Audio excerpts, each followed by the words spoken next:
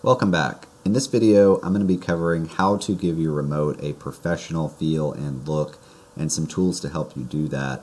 I'm not going to be doing as much on screen probably as you're used to seeing. If you're actually looking for some direct instructions involving the designer, probably just check out my other videos. Uh, but this is for those of you kind of looking to take your remote just to the next step. Uh, so the first thing I usually do when I start on a new remote is I create an about page down here at the bottom as a page group, my last page group. And I've got one copied over from another project just so you can sort of see what I'm talking about. It's just got some simple information. I might put my company information here as well as a shout out to Home Remote itself. Obviously, it's their software. Uh, probably put the logo, mine and theirs. And this is a good starting point. But the next thing I'm going to do is I'm going to create another page here uh, within this page group. And this one I'm going to put as some maybe statuses. So it's good within Home Remote, like I mentioned previously in one of the videos, where we had gone and created this placeholder label here that was keeping track of which input the user had selected. This is not as useful here on the main screen, but it would be a great addition to a status screen here to keep track of that. You might also be wanting to keep track of power on and off for different devices or uh, the current um, input that's selected or um, something like that. So there's a lot of different things you can put here. Basically, you're just trying to leave yourself breadcrumbs to help yourself out later on down the road, or the next person that happens to work on this system. If it's not you, help them out down the road. So when I actually start creating a remote from scratch, a lot of times I will look into the manufacturer and see what did they do because they've got great people on staff that make these remotes and a lot of remotes do the job just fine. So you can take uh, this Vizio remote, for example. I pretty much just copied this main area on the top, which all the main buttons were on. The up, down, left, right, enter control, super common on just about every remote. And then below here we've got some less used buttons, and then finally at the bottom we've got the number buttons, which we utilized as well. If I take a look at my Onkyo remote, which is actually pretty dusty because it's been a while since it's been used, it sort of follows the same layout. Again, it's got the, uh, the center controls here, uh, which are typically operated by your thumb. Uh, we've got those on our project as well. Same with the numbers as the bottom. On this remote I'm using for my Kodi, it's a QWERTY keyboard. We're going to get into this in a later video. Uh, but again, just taking some inspiration from the remotes that we're basically uh, emulating. So going back to our screen here, one of the things that I like to start with is just a quick sketch out of what sort of buttons and layout do I want for this remote. Uh, I'm usually putting high priority buttons here at the top. I'm giving the thumb controls roughly in the middle to lower portion of the remote or of the uh, phone because that's where we're physically holding it. I like my volume controls here at the bottom, but I've also had great success with them lined up around the uh, right hand side. And then our lesser used buttons, I'm actually keeping off screen out of the way down below in this lower section. You can see with Kodi, I basically follow the same layout um, so that we've got pretty good consistency between the two, uh, which is great. So um, one of the last things I would do right before I started actually getting into the designer and making changes is I would create a general map to show well, what is it that we've got to work with here and how is it interconnected together? This is a bit of a mess. I'm not an artist, but it gets the job done just fine. You can see I've got my receiver located here in the middle, basically acting as the heart and soul of the whole system. This is where all the inputs are coming in. I've got those labeled. I've got the HDMI and optical audio cables labeled, Ethernet wires, IP addresses, the global cache IRs are there with their port and module numbers. So a lot of great information here in just a quick sketch. Took me about 60 seconds to put this together and I referenced it multiple times uh, throughout the process here of building this remote. It sometimes can even just be a good idea if you're not leaving yourself uh, a well-documented uh, piece of uh, software to give to the owners or to keep to yourself. Just make a copy of this whole thing, save it as an image, and stuff it away deep in the uh, in the selectable tabs here within your about page. You know, just the whole image. Don't bother, you know, making it pretty or anything. And you never know when that might come in handy. So that's good to have. And it'll give you a basic idea, a good starting point of, okay, how do I interconnect these two pieces? Okay, now how do I go from there with the next two pieces, etc.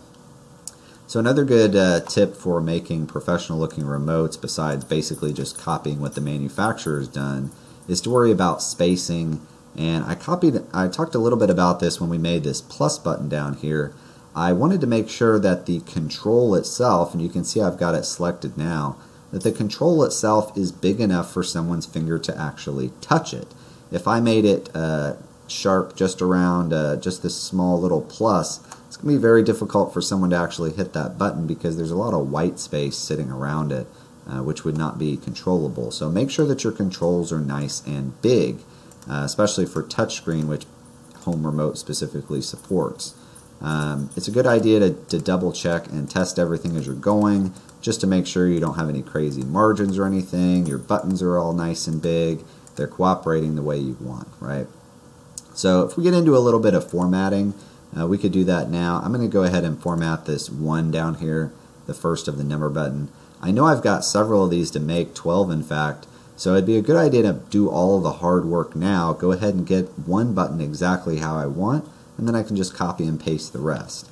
So I'm going to go in here and check out the appearance, customize this guy here, and now we've got some options as far as font, uh, family, size, weight, etc.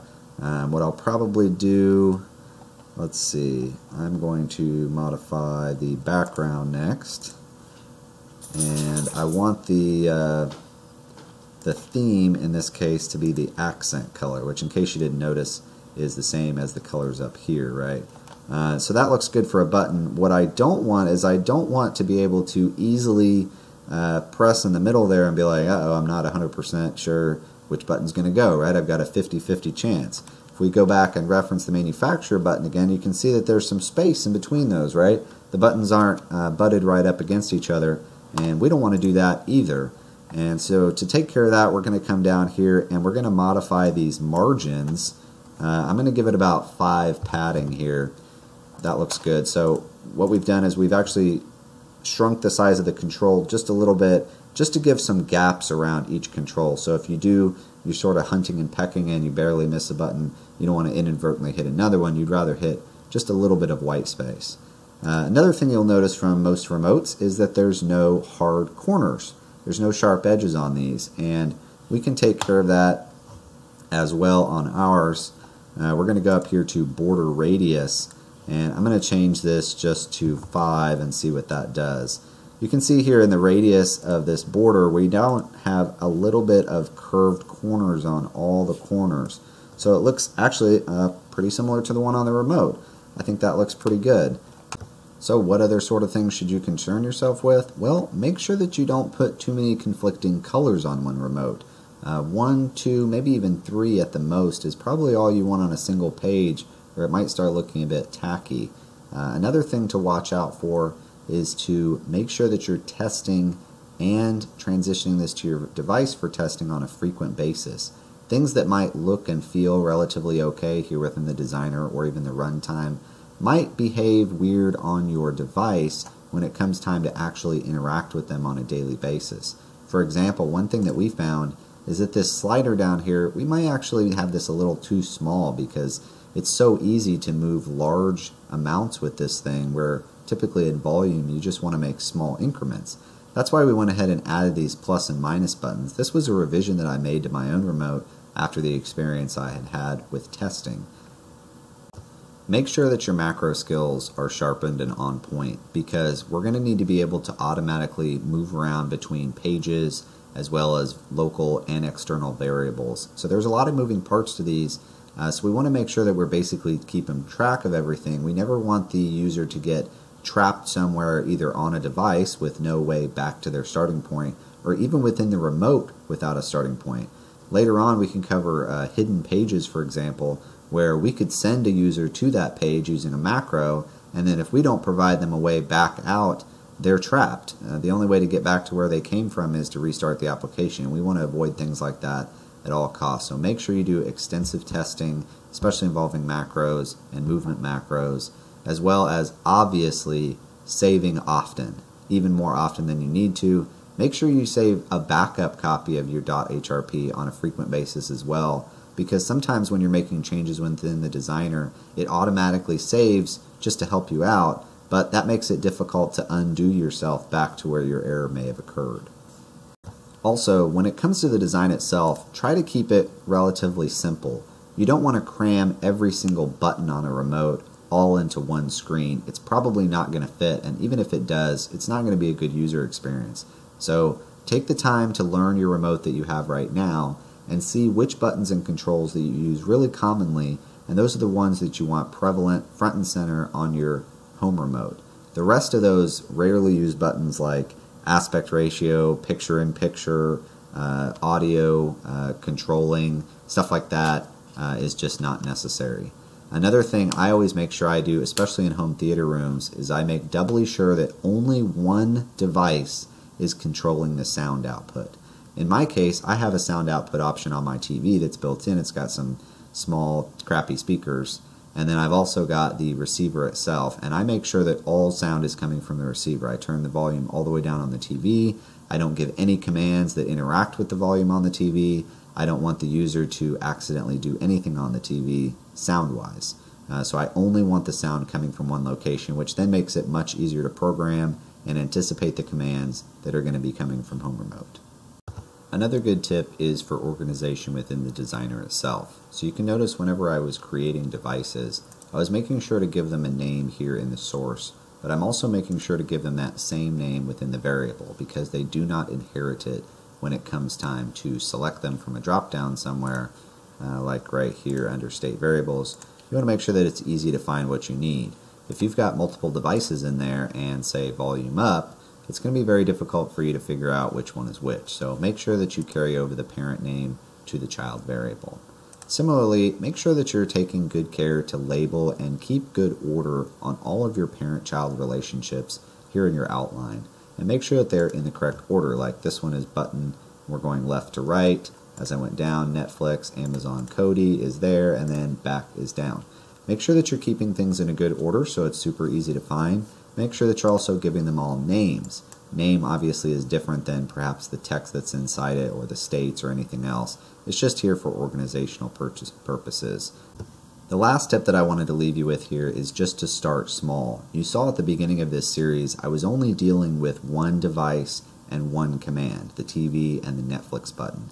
And I made sure that I got that working flawlessly before I went on to adding the second device, in that case, the receiver.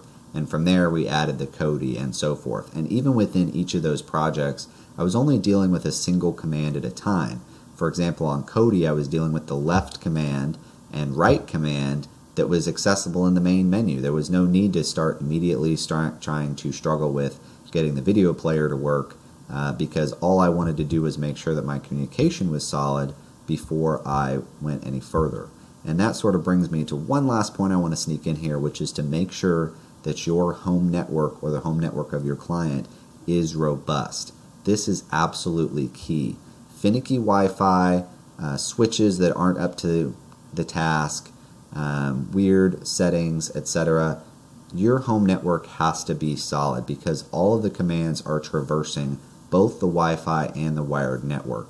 So if you don't have a good grasp on that, uh, there's a lot of resources online that can help you out and a lot of manufacturers and products out there that are great. I won't go into the products that I use in my house because uh, I use a lot of commercial stuff uh, because that's what I deal with. Chances are it's not going to have any relevance to any of you.